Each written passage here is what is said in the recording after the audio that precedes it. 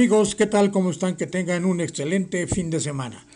El Instituto Nacional de Estadística y Geografía aseguró este jueves que la inflación en nuestro país alcanzó su nivel más alto en tres años al llegar a 3.18%.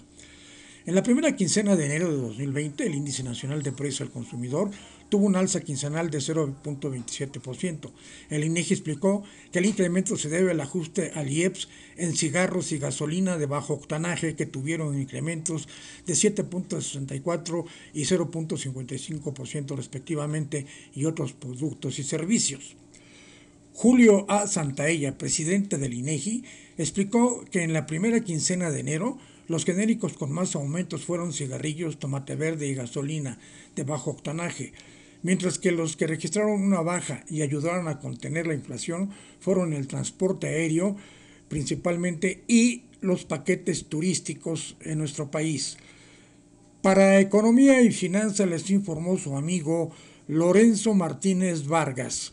Que tengan un buen día.